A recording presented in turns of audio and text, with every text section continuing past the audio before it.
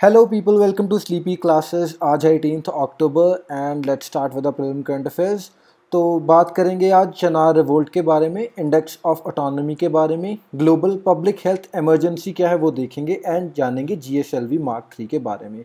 तो स्टार्ट करते हैं हिस्ट्री एंड कल्चर के पॉइंट ऑफ़ व्यू से हमारे पास है आज जो सबरीमाला इशू तो हम जानते हैं सबरीमाला इशू का क्या मुद्दा क्या है टोटल लॉर्ड अयप्पन जो है, वो प्रिजाइडिंग डेटी है वहाँ पर एंड ये जो मंदिर है, वो लोकेटेड है on the banks of Pampa river हमने पहले भी डिस्कस किया था ये। और इसमें एंट्री जो है, वो विमेन की डिनाइड है जिनकी एज है टेन टू फिफ्टी ईयर्स तो जो कि कोइंसाइड करती है उनके फर्टिलिटी ईयर्स के साथ ऑलमोस्ट तो ऐसा है क्यों? क्योंकि ऐसा जो माइथोलॉजी है, जो ट्रेडिशन है, वो मानते हैं कि जो अयप्पन है उनको वर्शिप किया जाता है as a celebrate god and जो पिलग्रिम्स हैं, उनसे भी उम्मीद की जाती है कि वो सेलिब्रेसी प्रैक्टिस करेंगे, या फिर एब्सटिनेंस तो होगी during the forty one day जो व्रतम है उनका उसके दौरान। तो लेजेंड हमें बताता है कि अयप्पन ने प्रॉमिस किया था मल्लिका पोर्थमा को कि वो उनसे शादी करेंगे। बट कब करेंगे? जब कोई भी फ़र्स्ट टाइम पिलग्रिम वो नहीं आएगा टेंपल में। तो लेजेंड बताता है कि जब मकराविल विलकू, मकराविलकू फेस्टिवल होता है। तो तब जो गॉडेस थी मल्लिका पुरथमा वो अपने श्राइन को छोड़कर आते हैं इंस्पेक्ट करने for a three day visit कि क्या कोई नया पिलग्रिम आया या नहीं आया, ताकि जो अयपन है वो अपना प्रॉमिस फुलफ़िल कर पाएँ। एंड इसीलिए जो साबरीमाला टेंपल है, वहाँ पर वो जो नए फ़र्स्ट टाइम पिलग्रिम्स आते हैं, वो एक एरो छोड़ देते हैं ताकि जब वो गॉडेस आएँ तो वो देख सकें कि हाँ नए पिलग्रिम्स आए हैं इस बार एंड इसीलिए वो वापस चली जाती हैं। तो इसी चीज़ को भी लिंक किया जाता है विमेन की एंट्री के डिनाइल से के साथ के, क्योंकि मकराविलिक को फेस्टिवल के दौरान पे जो मल्लिका पुरथमा है, वो भी वापस चली जाती हैं तो उसी को लिंक करते हैं कि वेमेन की भी एंट्री इसलिए वर्जित है वहाँ पर। एंड जो इसकी खास बात है इस टेंपल की, जो पिलग्रिम्स हैं, वो ऑलमोस्ट सभी रिलीजन से आते हैं कास्ट से आते हैं, लेकिन मुद्दा कहाँ पर है यहाँ पर? जेंडर डिस्पैरिटी के साथ। तो इसीलिए ये एक लैंडमार्क जो टर्निंग पॉइंट हो सकता है हमारे लिए कि जो ट्रेडिशनल बैरियर है ऑलरेडी उन्होंने रिलीजन एंड कास्ट को ओवरकम कर रखा है एंड अगर अब जेंडर भी ओवरकम कर लिया इस बैरियर को तो ये एक बहुत बड़ी अचीवमेंट हो जाएगी। ठीक है जी, आगे हम बात करते हैं चनार रिवोल्ट के कॉन्टेक्स्ट में, जिसको मरुमारकल समारम या चनार लहला भी बोला जाता है। तो ये बेसिकली नाइनटीन सेंचुरी के टाइम पर जो चनार कास्ट की वुमेन थी, नादर भी बोला जाता है उनको। अब उनके स्ट्रगल की ये एक स्टोरी है हमारे पास। बेसिकली क्या होता था ना साउथ इंडिया में, जो वेमेन थे उनको, जो लोअर कास्ट वेमेन थे बेसिकली उनको अलाउड नहीं था कि वो अपन, अपना अपर पार्ट ऑफ़ बॉडी जो है वो कवर करें। क्योंकि वो प्रिवलेज सिर्फ़ अपर कास्ट जो लेडीज़ थी फीमेल्स थी, उनके लिए ही रिज़र्व थी। लेकिन नाइनटीन सेंचुरी में जब कुछ चनार कास्ट की जो फीमेल थी, उन्होंने कन्वर्ट किया क्रिश्चियनिटी में तो उन्होंने डिमांड की कि वो भी क्योंकि अब हिंदू सोसाइटी का पार्ट नहीं रही, उनका रिलीजन चेंज हो चुका है तो उन्हें भी वो बेसिक जो राइट्स हैं वो मिलने चाहिए। तो इसी कारण जो नायर्स थे उनके साथ, उनका जो टसल स्टार्ट हो गया तो ये आगे आगे चलता रहा। इसको हम बोलते हैं चनार रिवोल्ट। एंड इसको जो लिंक किया जा रहा है साबरीमाला इशू के साथ, क्योंकि दोनों केसेस में जो वेमेन हैं, उनको इक्वालिटी के लिए खुद की लड़ाई लड़नी पड़ रही है तो उसी से हमने लिंक किया है इस चीज़ को। नेक्स्ट सोसाइटी के पॉइंट ऑफ़ व्यू से हम बात करते हैं इंडेक्स ऑफ़ ऑटोनॉमी के बारे में, जिसको निकाला है रेचल हीथ एंड जूटैन जो कि वाशिंगटन यूनिवर्सिटी से बिलोंग करते हैं उन्होंने। तो फाइंडिंग्स क्या क्या हैं कि women's participation in household decision making and mobility tend to be higher in families with daughters तो उन्होंने देखा अपनी स्टडी में कि जिस भी फैमिलीज़ में डॉटर्स हैं, उनमें वेमेन की पार्टिसिपेशन डिसीज़न मेकिंग में एंड मोबिलिटी में काफ़ी ज़्यादा है in compare to the family जिनमें डॉटर्स नहीं हैं।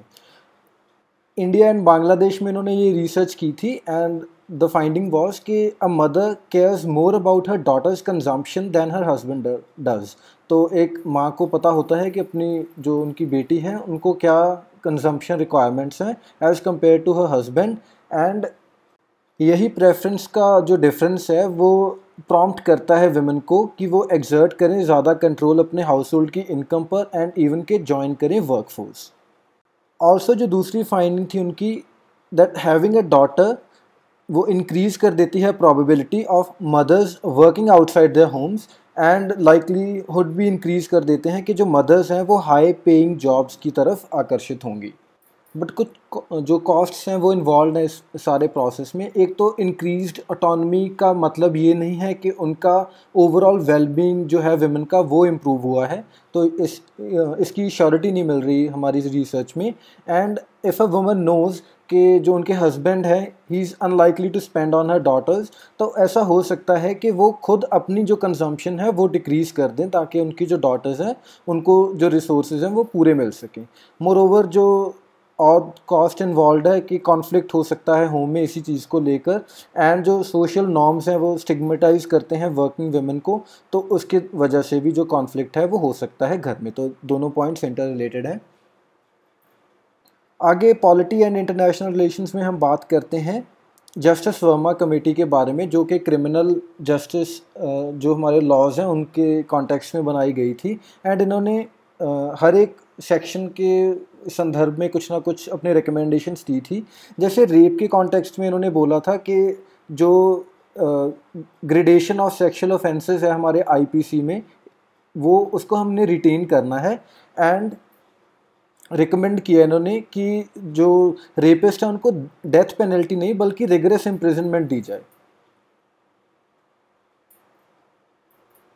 Also any non-consensual penetration of a sexual nature should be included in the definition of rape तो basically rape की जो definition है उसका जो scope है उसको broaden करने की बात की इन्होंने sexual harassment के context में इनका कहना था कि जो डोमेस्टिक वर्कर्स हैं वो भी इंक्लूडेड किए जाने चाहिए हमारे सेक्सुअल हरासमेंट की जो प्रोविजंस हैं उनमें सिमिलरली जो ट्रैफिकिंग है, वो अभी सिर्फ़ जो पनिशेबल है, वो सिर्फ़ प्रॉस्टिट्यूशन के केसेस के अंदर है।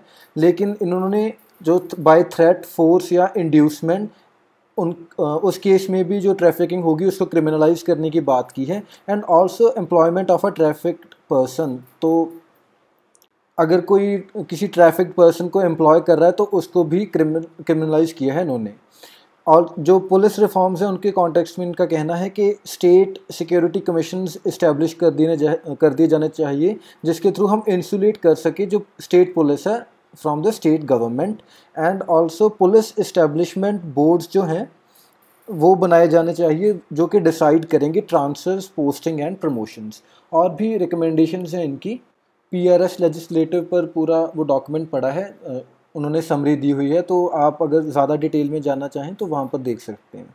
नेक्स्ट इकॉनमी के पॉइंट ऑफ़ व्यू से हम बात करते हैं आज ग्लोबल कम्पेटिटिवनेस रिपोर्ट की, जिसको निकाला है W E F world economic forum ने एंड इंडिया का रैंक इसमें इम्प्रूव हुआ है। पाँच प्लेसेस हम आगे हैं फिफ्टी एट्थ रैंक पर एंड ये लार्जेस्ट गेन है किसी भी जी ट्वेंटी इकॉनमी के लिए।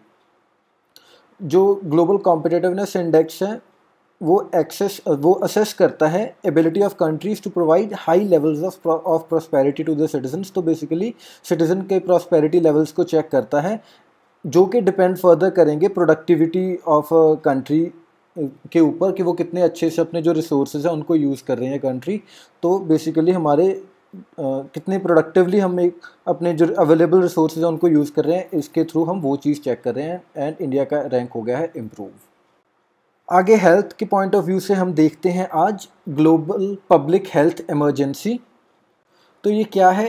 एन अकरेंस और इमिनेंट थ्रेट या तो हो गई है या थ्रेट है, होने, हो सकती है ऑफ़ एन इलनेस और हेल्थ कंडीशन किसी भी बीमारी का caused by bioterrorism epidemic और पेंडेमिक डिजीजेस और novel and highly infectious agent of biological toxin that poses substantial risk of a significant number of human facilities और permanent of long term disability तो अगर W H O को लग रहा है कि कोई ऐसा थ्रेट हो सकता है या हो चुका है, जिसके कारण कि significant number of human facilities जो हैं वो सब्सटेंशियल रिस्क पर हैं या परमानेंट और लॉन्ग टर्म डिसेबिलिटी हो सकती है किसी भी बायोटेररिज्म एपिडेमिक पेंडेमिक या इन्फेक्टियस एजेंट की वजह से तो उसको डिक्लेयर कर देते हैं वो global public health emergency and first time 2009 में इसको डिक्लेयर किया गया था due to the spread of swine flu उसके बाद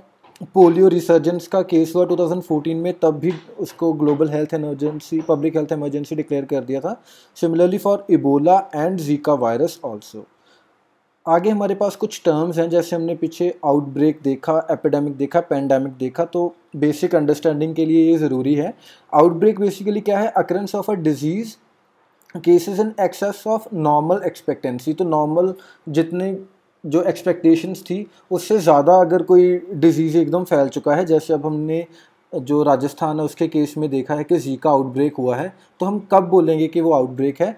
एक तो जब कोई डिज़ीज़ अकर हो जाए in excess of normal expectancy यानी कि जो नंबर ऑफ़ केसेस हैं वो वेरी करते हैं according to the disease causing agent and size and type of previous and existing exposure to agent तो अलग अलग एजेंट के अलग अलग हमने पैरामीटर्स बना रखे हैं। एंड ये ज़रूरी नहीं है कि जब किसी बड़े लेवल पर आ, कोई बीमारी फैलेगी तभी उसे आउटब्रेक बोला जाएगा। जो आउटब्रेक है, वो तब भी बोला जा सकता है जब किसी स्मॉल या लोकलाइज ग्रुप में भी उसका इम्पेक्ट काफ़ी ज़्यादा हो जाए। तो साइज़ आउटब्रेक के केस में मैटर नहीं करता। It can be as small and a localize और as big as an entire continent ठीक है? बट हाँ अकरेंस ऑफ़ डिज़ीज़ केसेस वो मैटर करता है कि हमारी नॉर्मल जो एक्सपेक्टेंसी सी के एक्सपेक्टेंसी थी दैट इस सीज़न में इतनी ये चीज़ हो सकती है उससे ज़्यादा अगर होती तो उसको आउटब्रेक बोलते हैं। सिमिलरली एपिडेमिक को हम बोल ये एक टाइप ऑफ़ आउटब्रेक ही है बट इसको यूज़ किया जाता है इस टर्म को जब हम infectious disease as well as disease with an environmental origin उनको कैटेगराइज uh, कर रहे हैं। जैसे वाटर या फ़ूड बॉर्न जो डिज़ीज़ हैं, उनके कॉन्टेक्स्ट में हम बोलते हैं एपिडेमिक एंड जब एपिडेमिक नियर ग्लोबल प्रेजेंस हो एपिडेमिक की किसी की, उसको बोलता जाता है पेंडेमिक तो जो पेंडेमिक है, वो है साइज़ या एरिया से रिलेटेड लेकिन जो आउटब्रेक है, वो है केसेस नंबर ऑफ़ केसेस से रिलेटेड ठीक है जी? आगे टेक्नोलॉजी के पॉइंट ऑफ़ व्यू से हम बात करते हैं G S L V mark three के बारे में. ये एक three stage heavy lift vehicle है, जिसको बनाया है इसरो ने। एंड जो इसके, जो थ्री स्टेजेस हैं, वो कैसे डिवाइडेड हैं? Two two solid strap on हैं पहले, बाद में एक कोर लिक्विड बूस्टर है एंड जो थर्ड स्टेज है that is cryogenic upper stage तो पहली स्टेज है सॉलिड दूसरी है लिक्विड एंड तीसरी है क्रायोजेनिक ये स्टेजेस किस चीज़ की बात हो रही है? ये फ्यूल की बात हो रही है कि कौन से स्टेज पर जाकर, किस टाइम पर कौन सा जो फ्यूल है, वो यूज़ करना स्टार्ट करेगा हमारा रॉकेट तो जो सेकंड स्टेज है हमारी लिक्विड स्टेज उसमें विकास इंजन लगे हुए हैं जो पावर करेंगे उस टाइम पे, उस रॉकेट को। तो विकास इंजन के बारे में आप विकीपीडिया पे देख लीजिएगा कि क्या इसकी हिस्ट्री है। और यो, जो ये रॉकेट है, इसको डिज़ाइन किया गया था to carry loads up to ten tons to low earth orbit and four tons up to the geosynchronous transfer orbit तो ऑर्बिट्स के बारे में भी आपको नॉलेज होनी ज़रूरी है। जैसे लो अर्थ ऑर्बिट हो गई जी हो गई एंड एक हमारे पास पोलर ऑर्बिट होती है सन सिंक्रोनस ऑर्बिट्स होती हैं। तो फर्दर आगे टाइप्स होती हैं तो आप इसके बारे में थोड़ा रिसर्च कर लीजिएगा। आगे हम बात करते हैं गगनयान के बारे में। तो ये इंडिया का एक प्लान है कि हम तीन ह्यूमंस भेजेंगे स्पेस में फॉर सेवन डेज़ बिफोर 2020 तो मोदी जी ने आश्वासन दिया था इस बार इंडिपेंडेंस डे पर कि ऐसा हम कर देंगे 2022 तक। तो जो ये गगन जो गगनयान है इसको लेकर जाएगा स्पेस में हमारा इसरो का G S L V mark three जिसको हमने पिछले स्लाइड पर देखा था। And it will be placed in low earth orbit जो कि three to four hundred kilometers होगी the earth's surface and if India launches uh, it अगर गगनयान सक्सेसफुल हुआ तो हम बन जाएँगे fourth nation after US Russia and China जिन्होंने ऐसा किया है ह्यूमंस भेजे हैं स्पेस में। तो इसका फ़ायदा क्या होगा? एक तो हमारी जो साइंस एंड टेक्नोलॉजी है, वो एनहेंस होगी। Moreover industrial growth improve होगा हमारा and development of technology for social benefits होंगे। क्योंकि जब हम स्पेस के लिए कोई टेक्नोलॉजीज़ तैयार करते हैं तो काफ़ी हाई एंड होती हैं एंड फ्यूचर में हम उन टेक्नोलॉजीज़ को हमारी डे टू डे लाइफ में यूज़ करना स्टार्ट कर देते हैं। ऑल्सो जो एक और इसका फ़ायदा है, जैसे फ्रांस अब हमारे साथ कोलेबोरेट कर रहा है इस चीज़ में गगनयान के मेकिंग में तो हमारी इंटरनेशनल कोलेबोरेशन भी बढ़ती है दूसरे नेशंस के साथ।